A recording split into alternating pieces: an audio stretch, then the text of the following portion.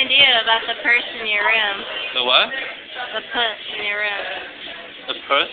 The puss in I'm your gonna have to investigate whose it is first. Are you gonna look through the puss in your room? I'm gonna look at all the content there. That's right. And then, and then I'll just throw a bit in.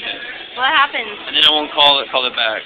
What happens when people leave their puss in VIP Depends what kind of mood I'm in. hotel room? Depends what kind of mood